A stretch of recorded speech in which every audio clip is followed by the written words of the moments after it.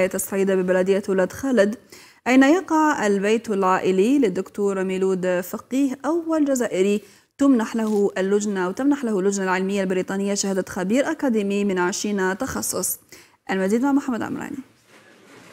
كأول إنجاز تحصلت عليه هو أحسن مشروع أكاديمي في في الجامعة سنة 2017 باسكتلندا ثم ذهبت إلى نطاق آخر عالمي حيث شاركت في الملتقى الدولي العالمي كذلك في الأبحاث النفسية والبيداغوجية التعليمية وفزت به في المرتبة الأولى هذه 2018 وعندي طموح آخر هو أن ننشئ يعني آه، مركز بحث أكاديمي متخصص الذي للأسف لا يوجد في كل آه، يعني المغرب العربي. أريد الانطلاقة تاعها تكون من الجزائر. هذا المركز البحث يكون آه، أو يسلط الضوء على عوائق التعليم من بينها التوحد dyscalculia dysgraphia يعني hyperactivity or hyper attention الحمد لله والله راضي عليه. قد مسه الأرض مشرفني في دينه.